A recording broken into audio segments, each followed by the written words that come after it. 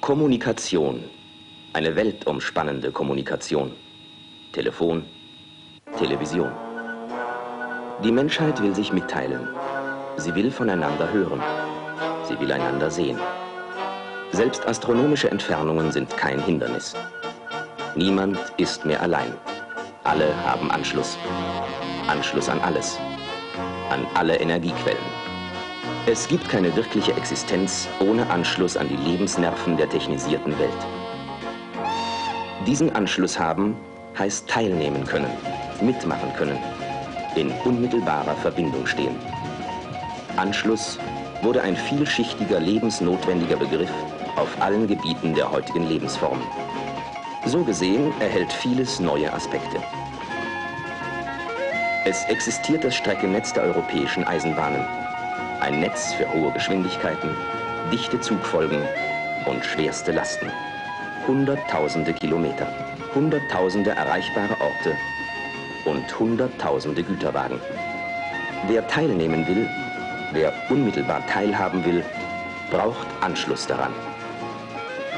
Die Voraussetzung für die Ausschöpfung aller Chancen, die in diesem leistungsstarken System liegen, zum wirtschaftlichen Vorteil aller, ist ein zweckmäßiger, auf die jeweiligen örtlichen und betrieblichen Verhältnisse zugeschnittener Gleisanschluss.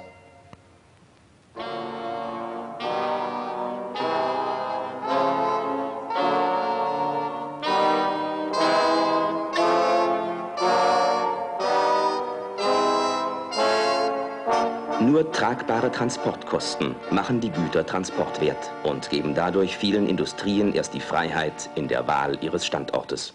Das zwingt zu Fördereinrichtungen mit gewaltigen Leistungen und drängt zur völligen Automation der Umschlagtechnik. Automation verlangt zentral steuerbares Zusammenwirken der verschiedenen Systeme und das ist nur möglich, wenn die einzelnen Transportträger zentimetergenau miteinander kuppelbar sind. Im Fahren nehmen die Wagen, zu Ganzzügen zusammengestellt, ihre automatisch gewogene Ladung auf.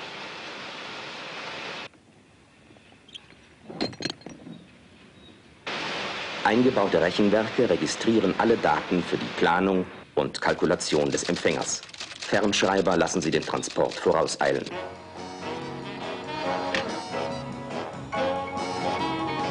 So fügt sich der Transport über die Schiene nahtlos in den innerbetrieblichen Transportfluss des Produktionsablaufes.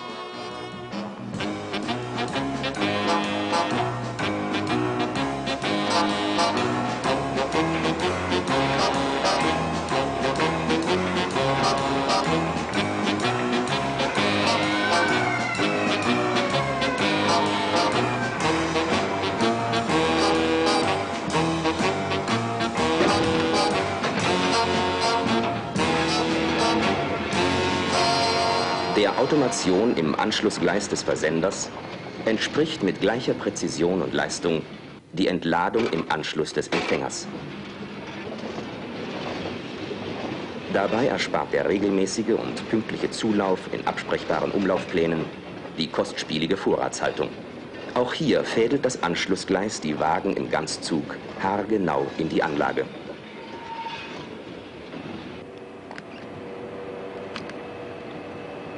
Ein Knopfdruck genügt und rund 1000 Tonnen Kohle fallen auf einen Schlag in den Bunker. Voraussetzung ist ein Partner, der das kann und auf den man sich verlassen kann. Der Zwang zu durchgreifender Rationalisierung verleiht dem Gleisanschluss gerade heute besondere Bedeutung.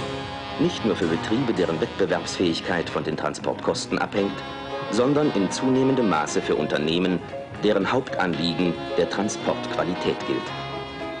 So sind zahlreiche Industriegelände der jüngsten Zeit auf leistungsfähige Gleisanschlüsse geplant und durch sie erschlossen.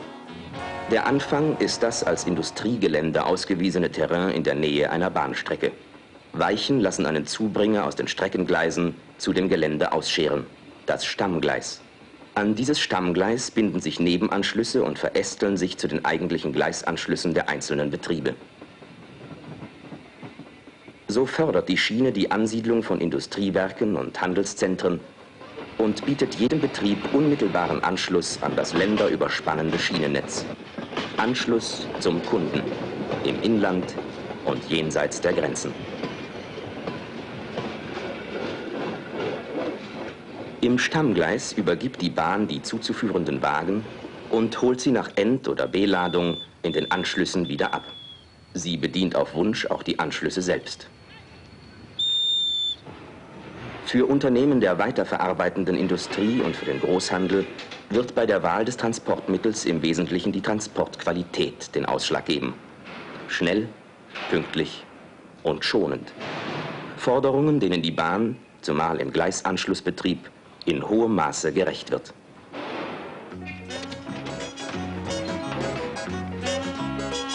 Man braucht sich nur das vielfältige Angebot von Spezialwagen vor Augen zu halten. Mit Schiebe- und Schwenkdächern, Schiebewänden und Transportschutzeinrichtungen, Muldenkippern, Druckluftentleerung.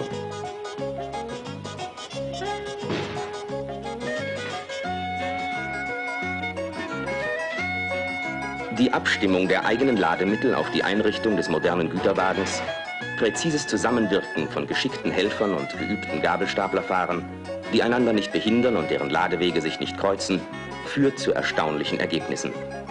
30.000 Flaschen auf 24 Paletten, verladen in 25 Minuten. Scheinbar spielend geschafft. In einem Großraumwagen. Die Paletten paarweise durch bewegliche Trennwände geschützt und luftgepolstert und alles unter eigenem Dach und Fach.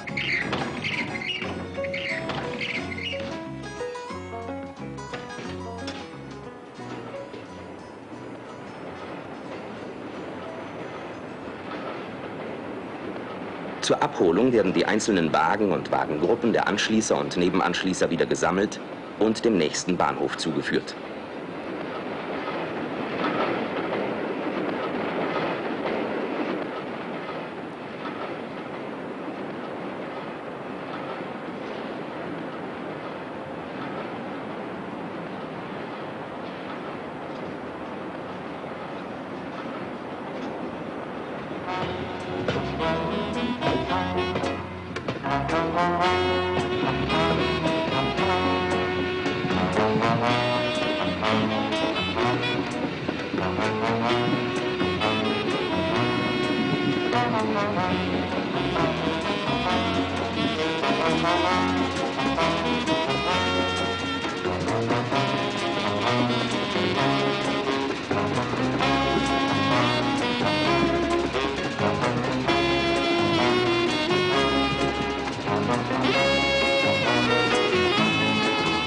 Der wesentliche Teil des Güterverkehrs auf der Schiene läuft in die Nacht hinein und erreicht seine Zielbahnhöfe im Nachtsprung. Die Bahn nutzt zum Vorteil ihrer Kunden die Nacht. Hinter dem verpflichtenden und umfassenden Begriff Transportqualität steht auch die moderne Rangiertechnik in weitgehend automatisierten Betriebsanlagen. Moderne Ablaufstellwerke steuern über Prozessrechner rationell und schonend das Neubilden der Güterzüge.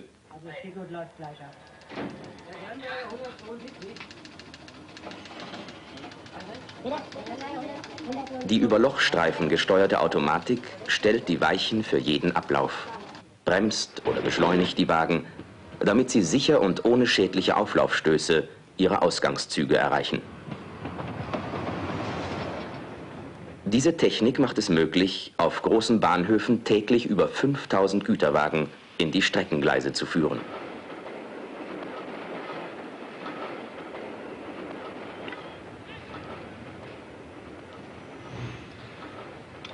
Täglich gegen 4 Uhr morgens stellt die Bahn diesem Großhandelsbetrieb mit 30 Filialen etwa 40 Wagen mit Waren aller Art aus allen Ecken Europas an die Laderampe seines Anschlussgleises. Hier wirken sich alle Vorteile aus, die der Gleisanschluss zu bieten hat. Pünktlichkeit, Zuverlässigkeit bei jedem Wetter. Arbeitskräfte und Lagerraum des Großhändlers sind teure Mangelware. Deshalb ergänzt er auch die nicht verderblichen Waren fast täglich. Das erfordert einen programmierten Ladebetrieb bei sparsamem Personaleinsatz. Die Bahn ist es nicht, die ihn drängt. Die Ladefristen sind ausreichend bemessen. Aber noch im frühen Morgengrauen muss die letzte Kiste eingewogen und an der für sie bestimmten Ladestelle gestapelt sein, damit die Ware abends versandt, morgens vor Geschäftsöffnung in den Filialen pünktlich zur Hand ist. Der wichtigste Teil des Gleisanschlusses ist die Ladestelle, für die alle anderen Anlagen, so umfangreich sie sein mögen, nur Zubringer sind, um mit denkbar geringem Aufwand an Zeit und Rangierbewegungen den Güterwagen der Ladestelle zuzuführen oder von dort abzuholen. Häufen sich die Ladestellen, werden Ordnungsgleise notwendig. Manchmal wachsen sich die Ordnungsgruppen zu echten Verschiebebahnhöfen aus. Der beziehungsvolle Straßenname in einem neuen Industriegelände kennzeichnet das Ausmaß der Wirkung, die eine aufstrebende Stadt in Süddeutschland von der Anlage eines Stammgleises erwartet. Und noch einmal, Stammgleise fördern die Ansiedlung von Industrie. Und die Bundesbahn fördert die Anlage von Stammgleisen durch Planungshilfen sowie kommerzielle und technische Beratung.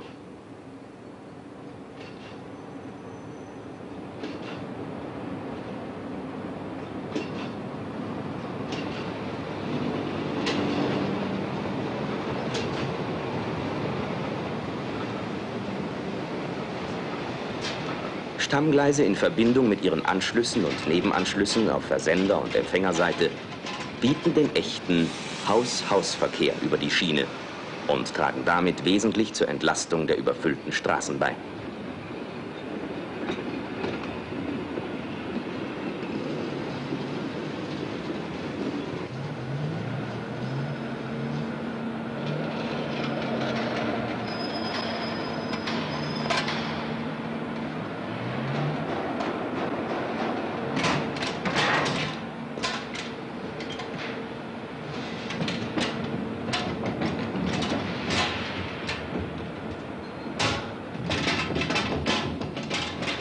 Übernimmt der Anschließer in seinem Gleisanschluss den rangiertechnischen Betrieb selbst, so bieten sich ihm hierfür zahlreiche Möglichkeiten.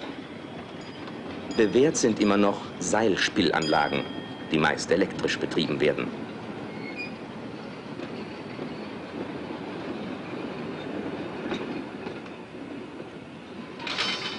Sind Anschlüsse ineinander geschachtelt, schwer zugänglich oder stören Drehscheiben den Bewegungsfluss, so ergeben sich unnötig hohe Betriebskosten. Die Förderungsmaßnahmen der Bundesbahn gelten auch der Überprüfung und Erneuerung solcher veralteter Anlagen. Die Industrie stellt Überlegungen an, um auch auf örtlich eingeschränkten Gleisanschlüssen den Betrieb rationell zu machen. Die öffentliche Ladestraße einer Schiffsanlegestelle begrenzt den Spielraum des anliegenden Werkes und unterbindet den Einbau einer Weiche hinter der Ladestelle. Das Truckmobil, ein kombiniertes Schiene-Straße-Fahrzeug, weiß sich in diesem Fall zu helfen. Nach Erledigung der Rangierarbeit auf dem Zustellgleis heben die quer zur Schiene liegenden Achsen mit gummibereiften Rädern das Fahrzeug hydraulisch aus der Schiene und tragen es zum daneben liegenden Abholgleis.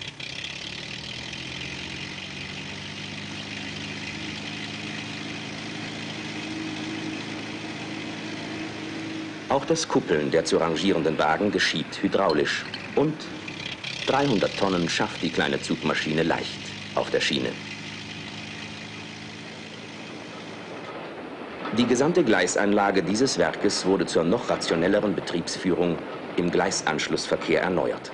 Die Bahn half bei der Verbesserung der Ladeeinrichtungen, weil sie interessiert und bemüht ist, die Zusammenarbeit mit der Industrie zu vertiefen. Das dient beiden Seiten.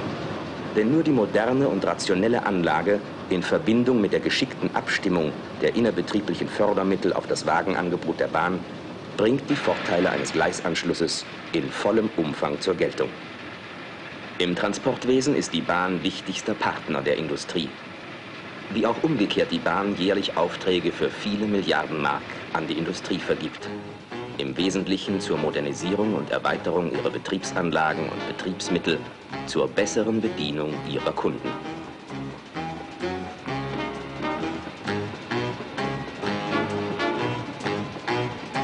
Die Bahn vergrößert ständig ihren Park an Spezialflachwagen großräumigen gedeckten Wagen und Wagen für schwerste Lasten. Sie befördert Privatgüterwagen der Gleisanschließer mit Sondereinrichtungen für den Transport spezieller Gutarten zu günstigen Tarifen und scheut auch kein heißes Eisen. Die Bedeutung des Gleisanschlusses als ureigenste Form des Haus-Haus-Verkehrs wird auch nicht gemindert durch den kombinierten Verkehr.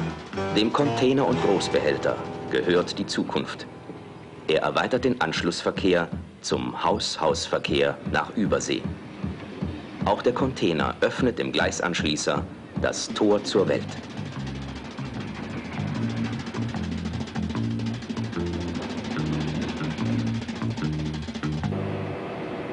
Bahn ist in Bewegung mit dem Ziel bester Verkehrsbedienung nach kaufmännischen Grundsätzen. Dem entspricht das von der Bundesbahn erarbeitete Münchner Modell, das die industrielle Verwertung von Bundesbahngrundbesitz zur Steigerung des Frachtaufkommens vorsieht. Eine Million Quadratmeter brachliegendes Bahngelände mit Gleisanschlüssen wurden Ausgangspunkt und Leitbild für die Ansiedlung verkehrsverdrängter Unternehmen aus Handel und Industrie dicht vor den Toren der Stadt. Echte Partnerschaft schuf aus der ehemaligen Schafweide in fünf Jahren ein Industriezentrum von europäischer Geltung. Der Europa-Industriepark liefert täglich den unwiderleglichen Beweis für die Bedeutung des Gleisanschlusses.